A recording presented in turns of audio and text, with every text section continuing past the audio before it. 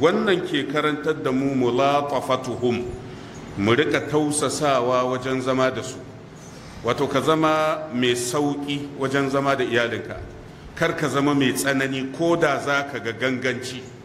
Abinda manzon Allah yake karantar da mu kenan. Za ka ga ganganci amma ka sassauta. Kar ka tsananta. Wal ihsanu ilayhin kuma wannan kar ya hana ka kyautata wa ita wannan matar. Gashi dai za ta yi maka wani hali na tsiya amma kuma sai ka kyautata mata. Saboda me? Saboda umarnin manzon Allah. Wasabru ala iwaji akhlaqihinna. Manzon Allah ya ce kuma da yin haƙuri ta wajen fandarewar halayensu. Wa ihtimalu da'fi uqulihinna. Ka jure raunin hankulan mata. Annabi yana karantar da mu mu zama masu daurewa masu jure rauni da ake samu ta sashin mata.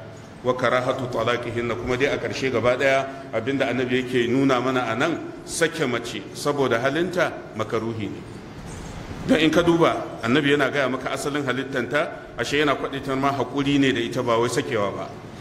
Wannan yana cikin dalilai da malamai suke kafawa akan cewa saki abu ne wanda annabi ya mana isharar da cewa ba a son shi a shari'a sai idan an kai makura na'am akan kai makura wanda rabuwa tana zama dole. Akan kai irin wannan makura amma saki bila sababin. Babu wani sababi saboda halayen mace.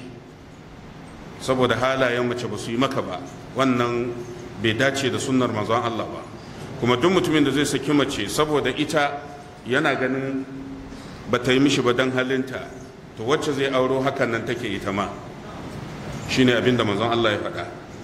La yutma'u bi istiqamatiha kama cire tsammanin zaka samu sadidan wanda za ta maka yanda kake so. Ka daina wannan tunani. Ba zai ba yiwu ba in ji manzon Allah. Wanda shine bayanin al-Imam an-Nawawi. Hakanan Ibn Hajar shi ma a cikin Fathul Bari mujallal na tara shafin 161 ya ce innal mar'ata khuliqat min dila'in a'waj. Ita mace Allah ya halicce ta ne daga ƙashin haƙarƙari kuma karkatacce. Fala yunkaru i'wijajuha. Don haka idan aka tarar da mace da wani hali mara daɗi to kar ma a yi mamaki.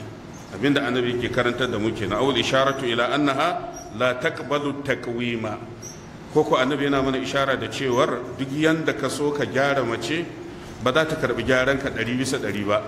Babu shakka ana tarbiyya ga mata kuma suna ɗauka. Amma dai ba za ta yi daidai yadda kake so ba shine abin da annabi yake faɗa. Kama annab dila'a la yaqbaluhu kamar yadda kashin haƙarƙari baya karɓan gyara. To da annabi ya ce fa in zahabta tuqimuhu kasartahu. Idan ka tafi akan sai ka miƙar da kashin haƙarƙari to zaka karya. Shine sai ibnu hajar ya ce huwa darbu masalin littalaki kaga annabi ya buga mana misali na hankali game da saki.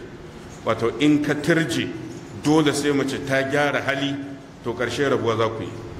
Saboda halin dai ba zai gyaru ba don haka Allah ya yi ta. Mu karasa hadisin sai ya ce wali muslimin. A riwaya ta al-imamu muslim fa in istamta'ta biha manzon Allah ya ce in zaka mori zama da ita istamta'ta biha sai ka mori zama da ita wa biha iwajin tana tare da karkatanta. Wa in zahabta tuqimuha in ko ka tafi da nufin sai ka miƙar da ita kasarta hato zaka karya. Wa kasruha talaquha karya ta ko sakinta ne. Kaga dai aure ya kare kenan.